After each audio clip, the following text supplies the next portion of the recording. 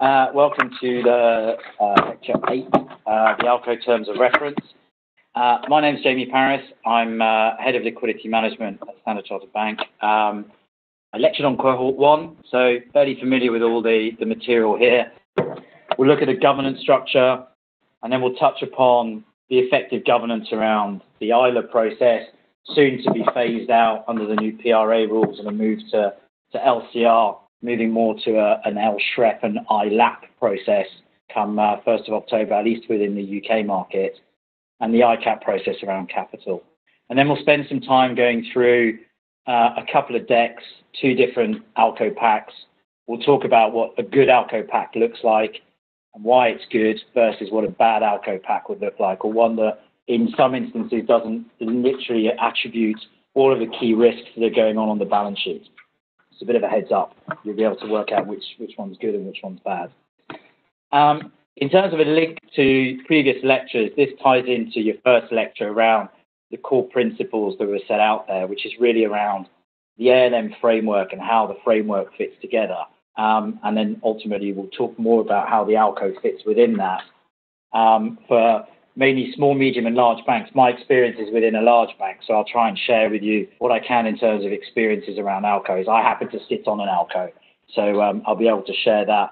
And then we can talk about how this actually all works in practice and how the interlinkage works in terms of the discussions that are held within an ALCO and how that then is determined into business strategy and the execution of the requirements around what the ALCO has set up.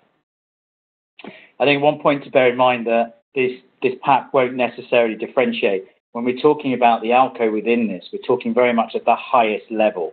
Some banks will call that the GALCO, which is the group ALCO. But depending on your business structure, you might have business ALCOs, you might have technical ALCOs, and also you might have country ALCOs.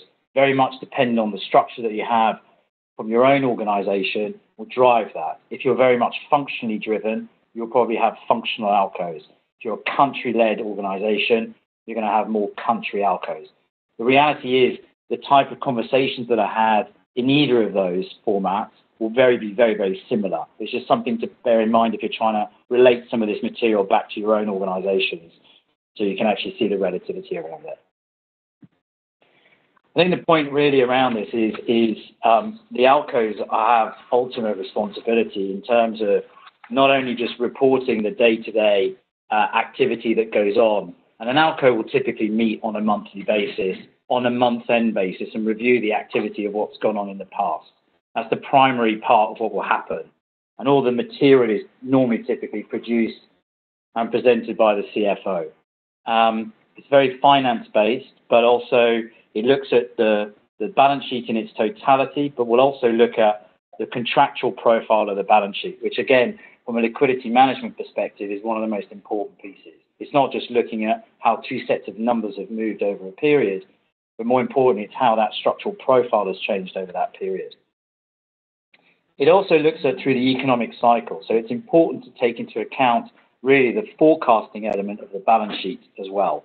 It's really the forward-looking basis to be able to advise to the board what are the risks that are coming down the balance sheet, and how does the balance sheet need to position itself accordingly. I think then what we'll see is effectively the link into the board risk appetite statement that you covered in the previous um, uh, slide, and actually show how the ALCO is ensuring that the board risk appetite is being actually adhered to, be it from a liquidity risk perspective or key balance sheet metrics, um, or even from a capital ratio management perspective as well.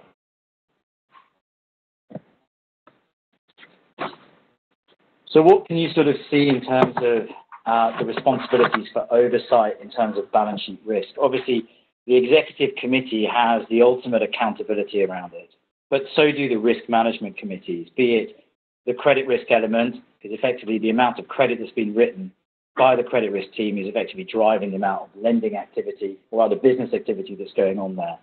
And ultimately, it's important that the ultimate risk committees are working alongside each other. So be it the credit risk uh, committees, the market risk, the liquidity risk committees that are all interlinked around that. And actually, the ALCO is the one that brings most of those together. It will look at both the credit risk on the portfolios through the liquid asset portfolio and the investment strategies around that, which we'll touch upon in a later uh, module, which I'll present, and then also the liquidity risk piece as well. What you also tend to find is um, the ALCOs will look at both sides of the balance sheet. It's not just about the liability side and the liquidity risk that's inherent within it. It's the behavior between the assets and the liabilities. It's the funding profile. It's the gapping that's being taken on the balance sheet. It's the link into the regulatory returns. It's a link into your board risk appetite and your internal risk piece. And it's the combination, effectively, about all of these various factors and the need to have a robust debate at the meeting to ensure that, effectively, the tires have been kicked on a monthly basis, that the balance sheet has been looked at, and that it's tracking towards the overall strategic intentions of what the board has set out, or the country management team, or the business management team, and that those metrics are actually being met.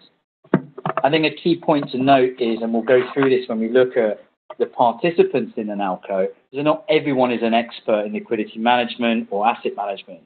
But actually, the people who are represented at the ALCO are an expert in their own field, and it's bringing the right people together to have a robust and constructive conversation about what is going on, and that the right level of governance is being addressed and enforced on each of uh, on each of the elements that contribute to it.